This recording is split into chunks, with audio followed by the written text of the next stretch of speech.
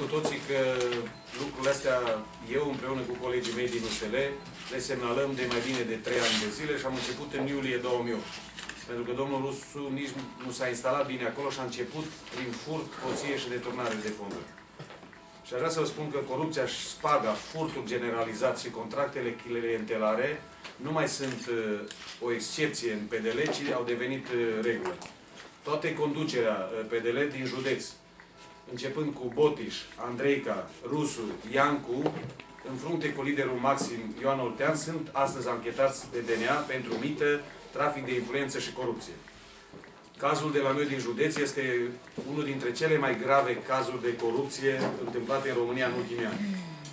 Practic, vârful conducerii administrative și politice a unui județ este cercetat de DNA pentru corupție. Cred că ar trebui demarate controle la toate instituțiile conduse de lideri eh, ai PDL. Pentru că peste tot se întâmplă aceleași eh, lucruri. Din cauza acestei corupții generalizate, au trebuit tăiate salariile și pensiile și nu din cauza uh, crizei economice. Primul lucru care îl voi face după preluarea conducerii Consiliului Județean va fi scoaterea la licitație a unui audit financiar cu o firmă de specialitate și voi face public tot ceea ce voi găsi acolo și voi sesiza instituțiile statului îndrituite să corecteze furtul și hoția care este de patru ani în Consiliul Județean.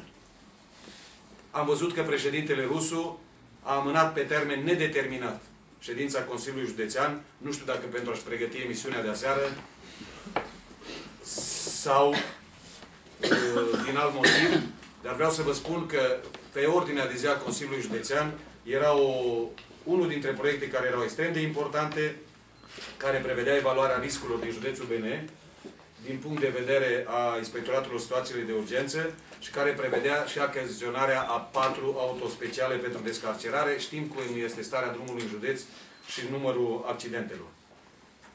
Ceea ce a făcut DNA în ultima perioadă nu a făcut altceva decât să certifice ceea ce se vorbește în județ de foarte mulți ani.